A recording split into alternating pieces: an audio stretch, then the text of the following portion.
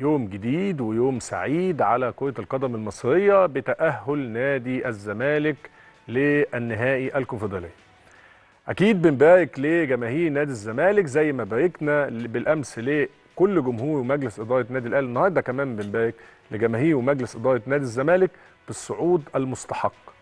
صعود مهم جدا جدا جدا نادي الزمالك وبطولة إن شاء الله مهمة وإن شاء الله الزمالك قادر على تحقيقها لإسعاد جماهيره وزي ما قلت اتكلمت امبارح وقلت نتمنى إن إحنا إن شاء الله بإذن الله نكون بطولة دوري الأبطال والبطولة الكونفدرالية وتكون كرة القدم المصرية ترجع تاني تهيمن على الكرة الأفريقية.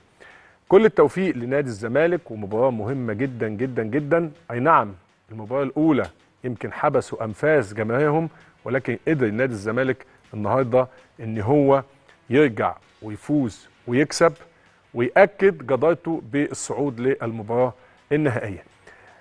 في حاجات كده لازم نتكلم فيها تحس دايما إن البطولة بتناديك. يمكن لو جينا شفنا مثلا كأس الأمم الأفريقية الأخيرة كوت ديفوار كان في معاناة شديدة جدا جدا جدا ولكن قدر إن هو يحقق البطولة وتحس إن البطولة مع الوقت بتناديه، نفس الحكاية. يمكن نادي الزمالك بدأ بداية ما كانتش هي الأفضل بداية نادي الزمالك لم تكن هي الأفضل ولكن قدر إن هو نادي الزمالك يرجع تاني وقدر إن هو يجتهد وإن هو يوصل لدوري المجموعات. وكمان في دوري المجموعات نفس الشيء قدر إن هو برضه يوصل للنهائي. الموضوع كان فيه صعوبات بالنسبة لنادي الزمالك وده كان هيحصل كمان مع فريق دريمز آه الغاني بالتعادل هنا. والكل توقع إن ممكن تحصل أزمة لنادي الزمالك ولكن قدر نادي الزمالك إن هو يأكد جدارته ويأكد إن شاء الله بإذن الله على حصوله على الكونفدرالية ووضع قدم في المباراة آه النهائية إن شاء الله بإذن الله. واللي فيها كمان ميزة بالنسبة للأهلي والزمالك إن اللقاءين العودة هيكونوا هنا بمشيئة الله. العودة هتكون في مصر.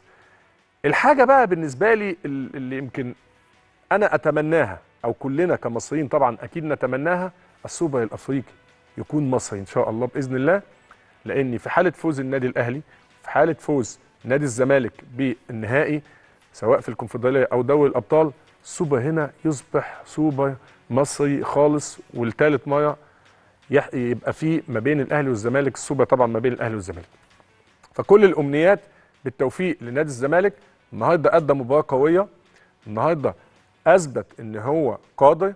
نادي الزمالك في الفترة الأخيرة بدأ يمشي بشكل جيد يمكن البداية لم تكن موفقة موفقة بالنسبة للنادي الزمالك في حتى في الدوري الممتاز ولكن نادي الزمالك بدأ يستعيد قوته تاني بدأ يرجع تاني. عنده فرصة كبيرة للمنافسة على بطولة الدوري. يمكن شفنا حتى قبل اللقاء ده فوز بالنسبة للنادي الزمالك كان فوز مهم جدا على النادي الأهلي 2-1 في مباراة الدوري آه الممتاز.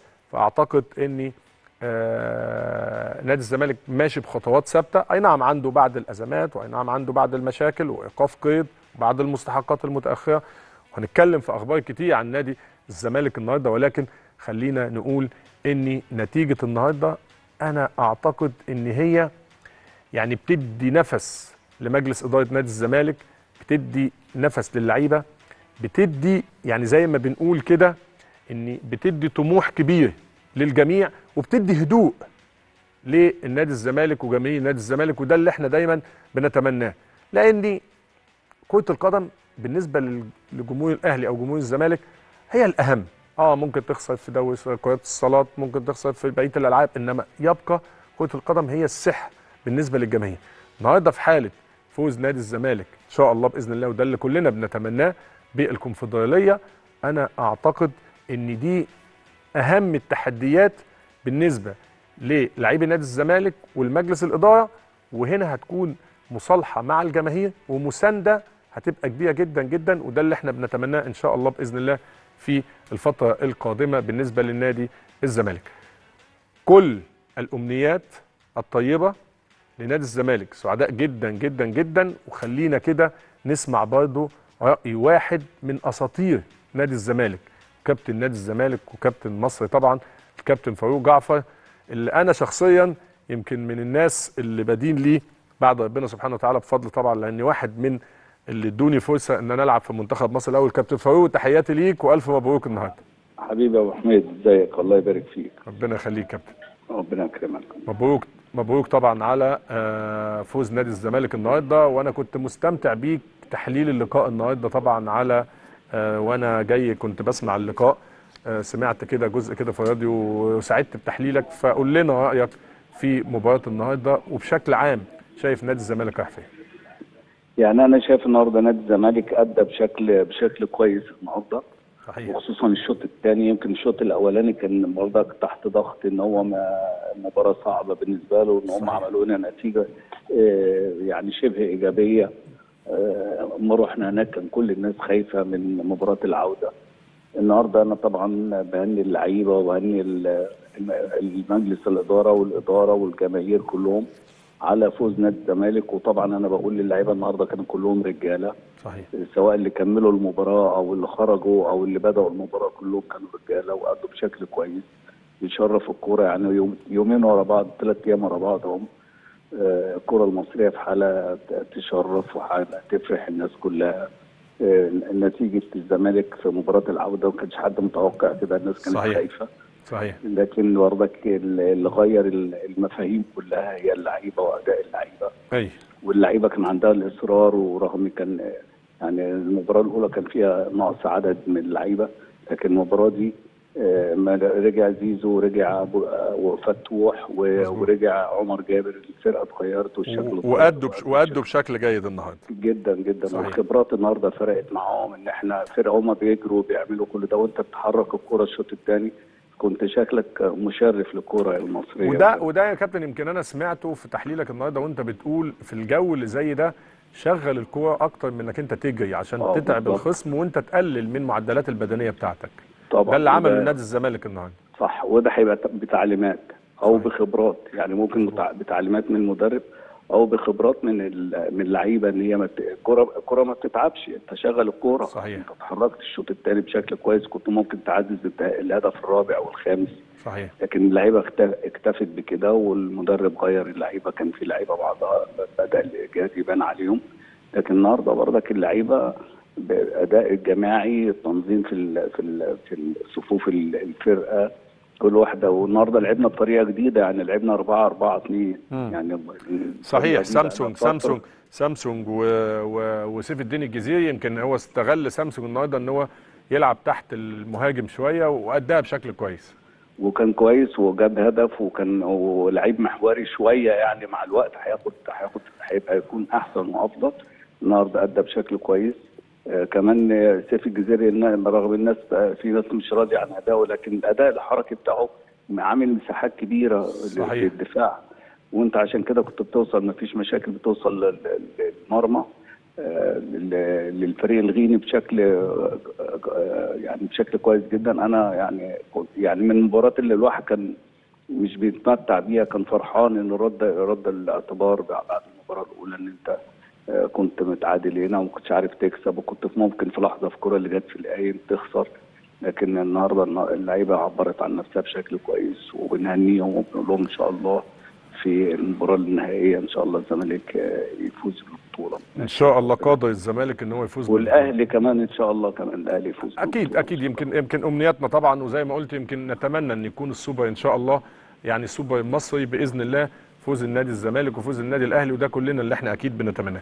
سامسونج يا كابتن في الماتشات الأخيرة بيأدي بشكل جيد، أنت لو موجود وجهة نظرك لأن طبعا أنت عارف إن كان كلام كتير إن لازم يرحل وإن لعيب غير مفيد وكده ولكن جوميز بيكتشف سامسونج من جديد. رأيك إن هو يستمر ولا إن نادي الزمالك محتاج إن هو يجدد دم أو يجيب مهاجم تاني لا لو هو المدرب محتاجه.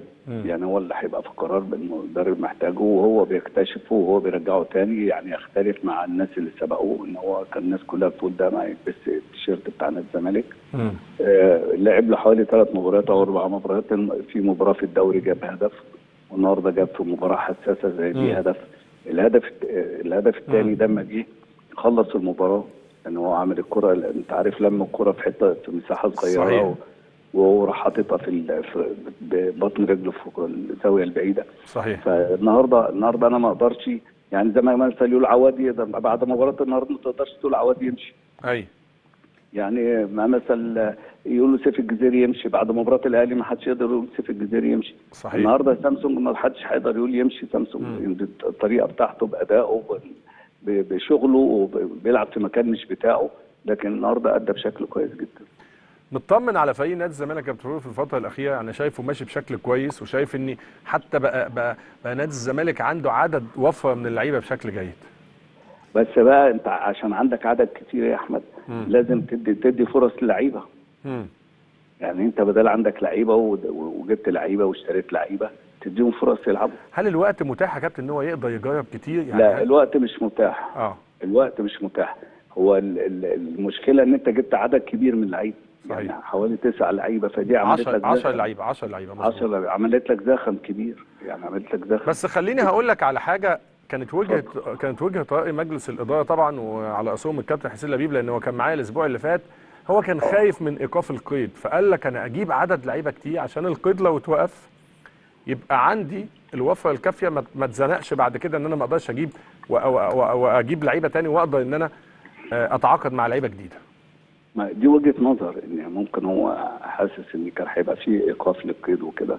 لكن برضك أنت عندك مشكلة إن عندك دلوقتي في نص الملعب عندك بتاع 9 10 لعيبة في نص الملعب. هتلاعب مين ولا مين ولا مين؟ ما دي برضك اللعيبة دي بتبقى عماصة وبتزعل واللعيبه اللي ما بتزعلش بيبقى قاعد على الدكة آه، هيوجع الدماغ. ف يعني المهم يعني إن إن شاء الله القيد يفكوه والأمور تبقى عادية في النادي واللعيبة دي تبقى متواجدة بشكل كويس وتبقى إضافة. يعني اللعيبة اللي جبناها إضافة لل- للفرقة. يعني أنا ما أجيبش لعيبة مثلا سي ب ب ب ب 100 جنيه وبعدين ما بستفادش منهم. لا أنا لازم هستفاد منهم طالما أنا اشتريت اللعيبة.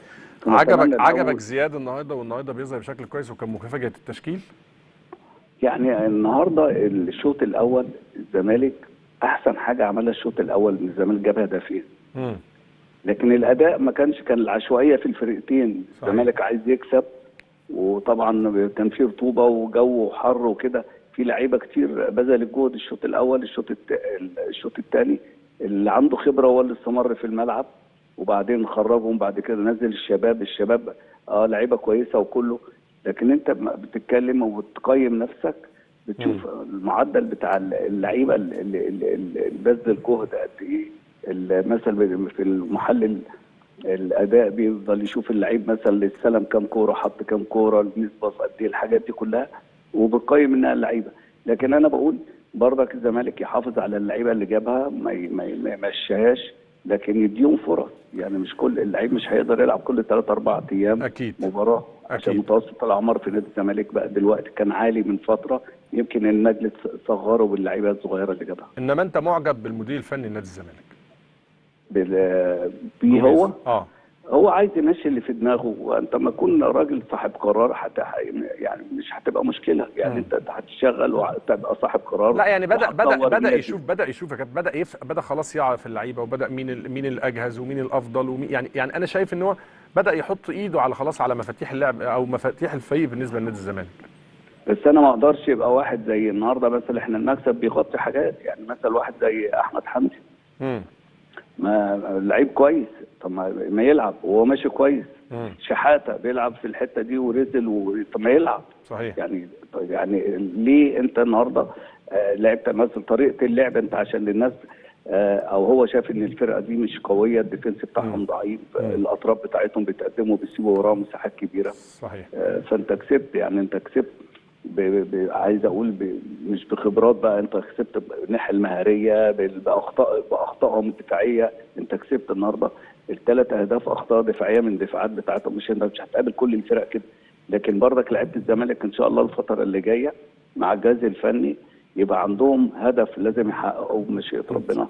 إن هم يروحوا على على النهائي ويقعدوا ويقاتلوا في النهائي والمباراة الثانية العودة هتبقى في مصر. بإذن- فالناس كلها إن شاء الله هيساندوهم الناس كلها هتقف جنبيهم. إن شاء الله. كابتن كابتن قبل ما أختم معاك يعني دايما بيحصل كده بعض اللقطات اللي هي بتقلل من فرحتنا شوية.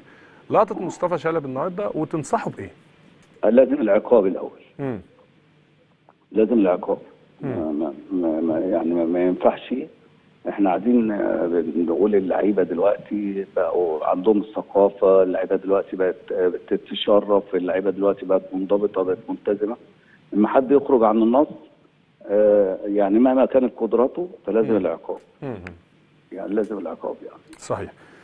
كابتن فاروق طبعا آه، بشكرك جدا جدا وكل التوفيق ليك إن شاء الله بإذن الله وكل بهنيك ان التوفيق. شاء الله على البرنامج بتاعك وربنا يوفقك وأنت. يعني تستاهل كل حاجة كويسة حميد. استنيك تنورنا يا كابتن إن شاء الله بإذن إن الله. شاء الله بمشيئة ربنا. معنا طبعا آه، نجم من نجوم نادي الزمالك وكابتن نادي الزمالك وأحد اساطير نادي الزمالك كابتن فاروق جعفر